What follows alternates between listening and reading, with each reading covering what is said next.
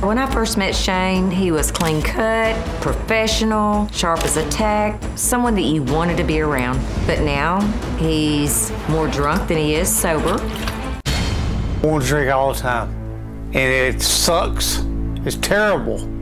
Shane is sloppy.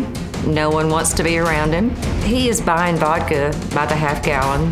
Within a few days, the bottle's empty. Every 30 minutes, I need another swig just kind of keep me on top of the buzz game. Just last month, he had fallen while he was drinking. They put him in ICU for 10 days due to a brain bleed. In 2018, he had fallen. His face was almost totally black. Since Shane's black and blue incident, he's in a constant state of pity. I've heard him so many times say, This is it, I'm not gonna drink anymore. And the next thing I know, he's back at it. The Dr. Phil Cruz showed up to his house and he was plastered. You're looking a little wobbly. You've been drinking all day? Yeah. The children have been around him while he was severely drunk. The kids are afraid to be around him when he's drinking. Things have gotten so bad with Shane that I asked him, okay, the next step is going to be your funeral. We talked about that while you were laying in a hospital bed. Oh, Lord, I sure don't remember that. I said, You're gonna die. So, who do you want as your pallbearers? Where do you want to be buried? What do you want me to tell your children? Because this is it. It's gotten that serious. Okay, how long have you known Shane? Uh, about 20 years. 20 years. Okay, how long has he been in this condition? As far as I know, um, about two and a half years. What do you think caused him to fall off the cliff?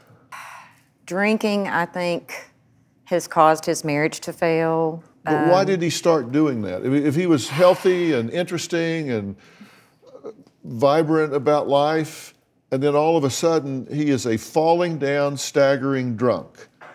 What caused that to happen? What caused that transition? In your opinion, I'm not asking you to, to play doctor here. I'm just asking you know. I feel that he had a high performance job, maybe entertaining clients, um, living the great life, you know, the great marriage, the great family, the nice house, the nice boat. And I feel that alcohol was part of that lifestyle and it got a hold of him. it just caught up with him. Yes. Yes. Okay. And, and, and did he notice that at the time? Oh, no. So he just thought this is just party time. Yeah. Okay. Does he own this or does he blame others for it? No, he owns it. He owns it. He has no idea why, but he's owning it now. Now he has two children Yes. and they're 10 and 13. Yes. And he has the right to see them, but only supervised. Right. Okay. Now, he hasn't seen them since February, I believe so. so that's eight months. Mm-hmm. So he has the right to see them, Right. but he hasn't exercised that right. Right. Would you have ever thought that of him? No, never.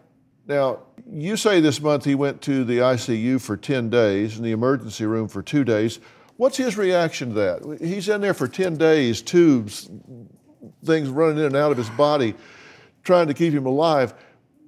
At that time, does he at least have a come to Jesus then? Does he say, okay, I'm done, that's it? For a day or two. For a day or two. It lasts a day or two. Three days from the ICU incident. Yes, sir. and he looks at himself in the mirror and sees that horrific mask of blood, which is just essentially lividity. I mean, that's just he he severed an artery, fell face down. That's how blood pools in dependent tissues. That's what happens to a corpse. Yes, I know. And so this, but he just didn't die. He did everything but die. I know that. Did it scare him? When he looked in the mirror, did that scare I him? think so. He called me and said, I've got a problem.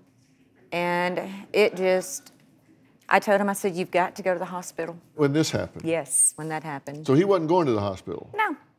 As it turned out, he had a brain bleed. Mm-hmm.